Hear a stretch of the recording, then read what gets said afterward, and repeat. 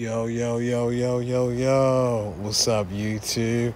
I'm back with another banger with y'all, man. If you're new to the channel, hit that like button, subscribe, and go comment, man.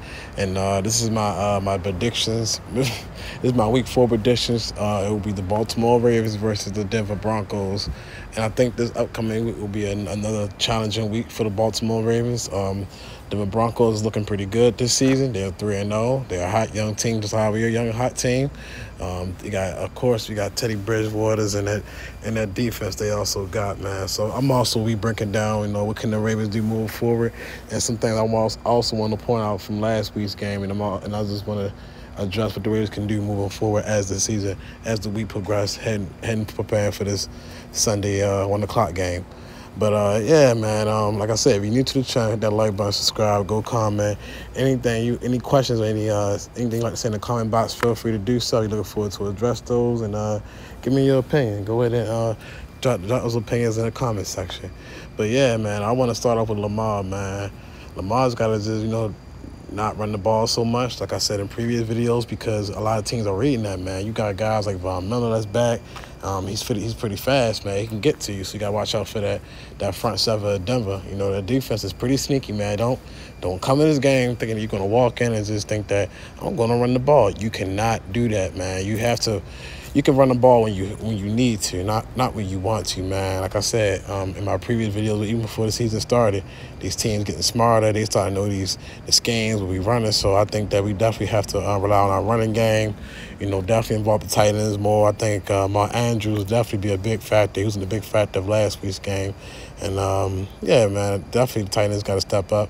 I know we got Andrews, but I know we got um, a few weapons you can also uh, utilize as far as the uh, running back position. But I might have to have them catch a few passes, you know, mix the offense so instead of, you know, rushing the ball, you know, so many times, Lamar, you don't want to focus on that. So it's games like this you really have to be cognizant of a team that's 3-0 and that's looking to be 4-0 if we don't step up our game you know, from last week. Not saying we did a, and I mean, we, we supposed it supposed been like a two percent, like we supposed been like two touchdowns against the Detroit Lions. There's no way we shouldn't have been in a dog fight. I understand, um, you know, teams are hungry, they're young, and and Detroit Lions, they're also a young team, so got to get credit when it's due. They they fought a whole battle battle with us as far as the game, and um, and once again we came up on top. You know, Justin Tucker delivering that field goal, man. And I also want to address the offensive line too, man. Offensive line just got to do a little better job of uh, just trying to protect Lamar. I know these uh these defensive linemen and all these uh these guys from the defensive side are, are pretty fast and get to a quarterback just like that. If an offensive line don't, don't take away uh if we don't pay attention to what's going on, try to protect the running backs. Because this this game right here, we definitely need the offensive line to step up. I know we kind of short-handed with uh, guys in out the lineup. Um, it's, it's, it's crazy, man. It's crazy. You know, I don't think Ronald, Ronnie Stanley. I don't know if he's he's he's he's uh, he's doubtful. So I was just listing as that. You know, I know last week I I, I think he played. I'm not even mistaken. I ain't even check him out, but I know last week he was out. You know, he didn't practice last week, so I didn't hear anything much from since then. Or I didn't even check into him. But yeah, man, offensive line definitely got to step up. Um, I think they've done a you know a, a okay job. I don't think this has not been their best. You know, because Lamar definitely got hit could have got fumbled, you know, and that's what happened. So I'm not going to say, okay, job. You, the offensive line's got to do a better job of just containing Lamar and just watching out for the defense because these defense are they, come at they come at Lamar, man, full bless. You see the cornerbacks they drop at.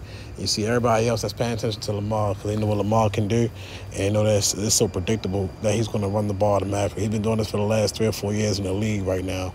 So um, yeah, I want to get credit. My offensive line definitely love too, so I definitely want to want to involve the offensive line more into my videos because that's the biggest key factor. If your offensive line not good, just prepare for letting Lamar get hit up, just getting sacked so many times like Deshaun Watson a few years ago. I don't want to see him in that situation. I don't want to see him catch an injury, or uh, because we have a you know, I mean, like an offensive line that's not fully protecting Lamar. I hate to say it, but that's pretty obvious. You know, that's definitely pretty obvious.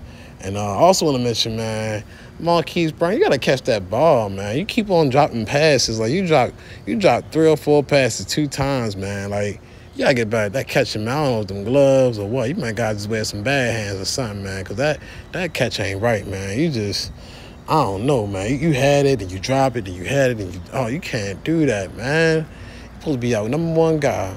But uh, I'm not I'm not trying to knock nobody. I'm just trying to, you know, just I'm just putting on what happened last week's game against the uh, Detroit Lions. Also, like I said, again, in my video, I was also going to mention the receivers definitely got to step up as well.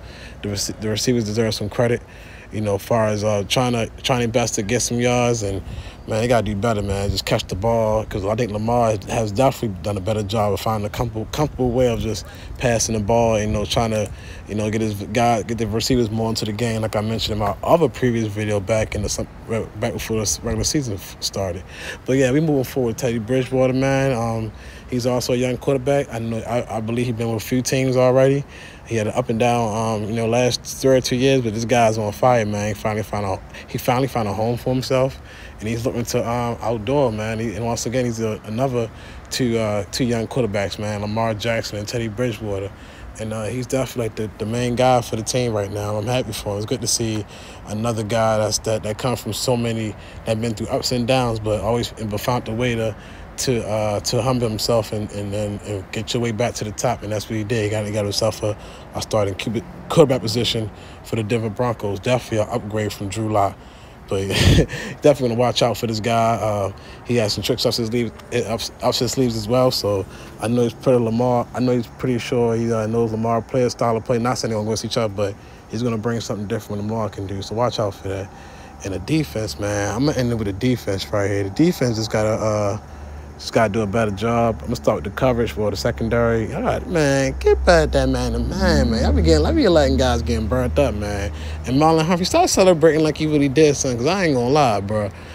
man, you gotta get better at that man to man, bro. You get burnt up in that man to man coverage. you really the new Marcus Peters, man. I mean, I ain't trying to throw shit at him. He ain't got nothing to do with this, but you the new Marcus Peters. I, I used to throw Marcus Peters under the bus. Yeah, you the new Marcus Peters, bro. I'll make a video about you because you we ain't, we ain't letting we ain't letting it slide, man. We can't let that slide. You can't let guys get a touchdown and everything like that, man. But all jokes to the side, man. You gotta get better at that man to man, bro. We can't you can't let those guys be getting them them big first yard gains and everything like that. And um, that's about it, man. Tavon Young did a great job of sacking the quarterback. He came in more focused. He came prepared, and um, want to give the rest of the uh, guys credit. I mean, give everybody credit when it's due. Um, definitely want to. Uh, mention that. And uh, I want to also uh, mention the front seven. I think the front seven has to do a better job of getting to the quarterback. I understand that guys with um, was a little slippery from last week's game. Um, I didn't I didn't hear anything from uh, Odafe or Oweh, whatever his name. I can't pronounce his name. Number 99. I didn't hear nothing from from this last week. I ain't seen him get a sack. I mean, he, he tried, but it wasn't good enough. But uh, definitely give credit to the uh, defensive line. They tried their best to get to the quarterback definitely want to give credit to Calais Campbell for um, for getting that uh, no yard. I think it was like on a late possession. You know, I think the, the Lions were trying to score, and uh, Campbell got a, a no yard game. So definitely give uh, credit to Calais Campbell. He's the captain of that defense. He's a uh, he's a veteran, and I think he can uh, definitely uh, bring bring his veteran his um, his uh, experience to the table, and it's, it's been great for the Baltimore Ravens so far. But yeah, I think the front seven's got to do a better job of just containing and letting not not letting these running backs get no uh, rushing yard gains at all. But that's about it, you know. But um, I know the I know the NFL kind of placed the Baltimore Ravens defense as like one of the not the best, and definitely not you know not the best defense in the league, not so far this year. But don't sleep on that run defense. Please do not on that run defense. I just think the uh, the secondary's got to get better. I, I, once they hopefully when they find a um, once they find a rhythm and uh, get things going for themselves, I think the Raiders can do a better job of just containing uh, man to man. So that's the main fool. They do a good job at zone coverage, but they can't. They got to get better at that man to man coverage. But uh, yeah, like I said, if you're new to the channel, hit that like button, subscribe, go comment. Um, I'll be back with uh, another video with you folks. Um, with the with the um, I guess I'll do another story of my life, part three, probably when I was a teenager and everything. So I'm definitely bringing different type of content to this channel and. Uh, I'm out with it, world peace. You folks will have a safe one. Stay, stay safe. Stay blessed. I'm out with it, world.